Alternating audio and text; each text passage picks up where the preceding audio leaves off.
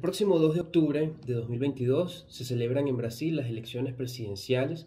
donde además de elegir al presidente y al vicepresidente de la República, se eligen gobernadores, algunos senadores, diputados federales y también diputados estaduales.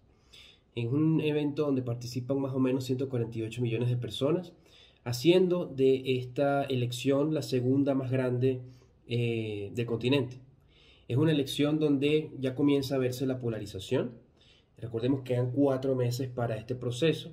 y por una parte tenemos la candidatura del presidente Jair Bolsonaro, quien va a la reelección, con el Partido Liberal, el PL en esta oportunidad, y también una gran coalición de partidos que lleva candidatos en todos los niveles.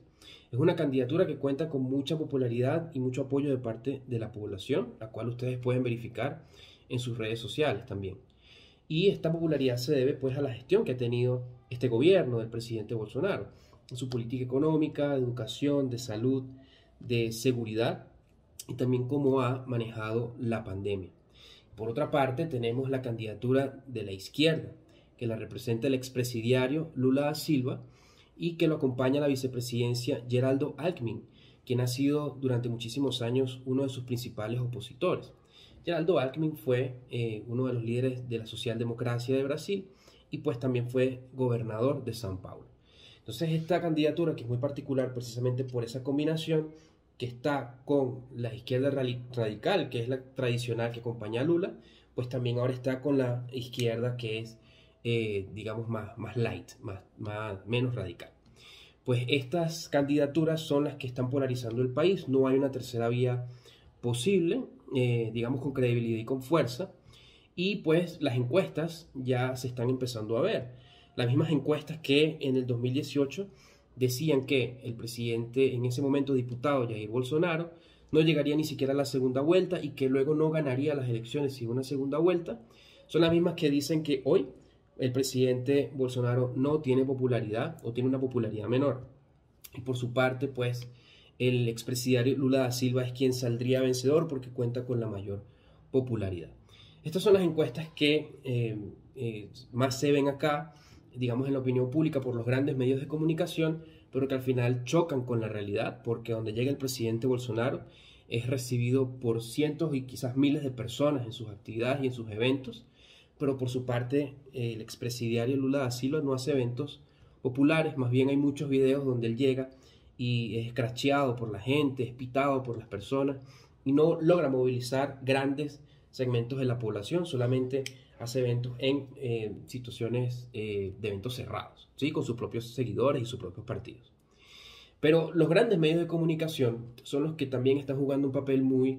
eh, importante acá, porque siempre no solamente ha sido detractores de la gestión de, Bolsonaro y de, su imagen como líder político, sino que además la, la gestión que ha realizado el presidente, que ha sido positiva, pues tratan de darle la vuelta y tergiversarla para mostrarle al mundo, o intentar mostrarle al mundo, que hay una crisis que se está viviendo acá en Brasil. Incluso dicen que ahí está una dictadura que se está viviendo en Brasil y que el gran dictador es Jair Bolsonaro. Y esto lo sabe muy bien la población, pero afuera esto ha tenido su impacto y ha hecho que hay una campaña en contra del presidente Jair Bolsonaro desde el inicio de su, de su gobierno y que también ahora apoya a la candidatura de Lula da Silva. Hemos visto actores de Hollywood y gente famosa dándole ya el apoyo a esa candidatura. Pero también hay cosas que quería leerles. Por ejemplo, fíjense que aquí salió, para, para ayer salió estas dos notas que son interesantes. Dice, Facebook vigilará posibles escenarios de violencia en elecciones en Brasil. Y dice quién es la gerente de proyectos para las elecciones de Meta en América Latina, Debs Delbart, durante un encuentro virtual con periodistas para presentar los esfuerzos de la compañía para garantizar la integridad de las elecciones presidenciales de Brasil. Al momento de entrevistarla, ella dice que el escenario de violencia es algo que podemos y vamos a monitorizar dentro de nuestro centro de operaciones. Y cuando se le cuestiona sobre la posibilidad de que se repita en Brasil escenas similares al asalto del Capitolio eh, por centenares de simpatizantes del entonces presidente Donald Trump, como dice acá esta nota, eh, ella dice, estaremos atentos a cualquier evento de emergencia que viole nuestra política de comunidades, como el discurso de odio, la incitación a la violencia u otro contenido que puede llevar a un daño físico inminente. Pero también sale otra nota que va muy ligada a este y dice, Spotify se suma al pacto para combatir la desinformación electoral en Brasil. Dice esta nota que Spotify ayudará al Tribunal Supremo Electoral a reducir los efectos negativos de las noticias falsas sobre el proceso electoral a través de la difusión de contenidos confiables y la identificación y contención de casos y prácticas de desinformación. Por otra parte, dice, además de Spotify, el Tribunal Supremo Electoral ha sumado su alianza contra la desinformación con mira a las elecciones presidenciales, legislativas y regionales de octubre, a Twitter, TikTok, Facebook, WhatsApp, Google, Instagram, YouTube, LinkedIn, Kawaii y firmó un acuerdo similar con Telegram. Sobre Telegram, hace pocos meses fue muy famoso esto acá en Brasil, que el tribunal, el Supremo Tribunal eh, Federal, con el magistrado Alexandre de Moraes, quien se ha caracterizado por ser un perseguidor de personas y meter presos políticos en esta gestión de gobierno, pues en su afán por perseguir al periodista Alan dos Santos, que está en este momento en el exilio por causa de esta persecución, como Alan dos Santos por su trabajo periodístico ha tenido un impacto importantísimo y una cuenta con una credibilidad importante entre los brasileños, pues este magistrado pidió a Telegram o exigió a Telegram que dejara de estar activa en el territorio brasileño. Y los directivos de Telegram al responder rápidamente eh, sobre este tema, pues tuvieron que censurar a este periodista para que el Tribunal Supremo no prohibiera el uso de la plataforma a más de 200 millones de ciudadanos acá en Brasil.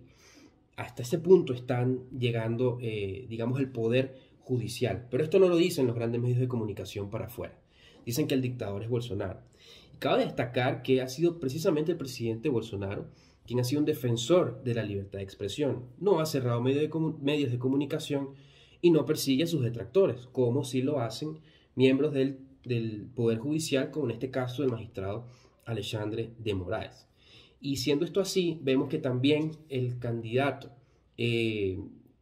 Lula Silva tiene una postura respecto a la libertad de expresión y se parece mucho a la del el Poder Judicial y la de las Big Tech, que ellos consideran que el, el gobierno tiene que regular, tiene que censurar medios para evitar la incitación a la violencia, evitar el discurso de odio, etc. Es el mismo discurso que utilizan en los lugares donde hay censura y no hay libertad de expresión. Entonces, la libertad de expresión, digamos, juega aquí un papel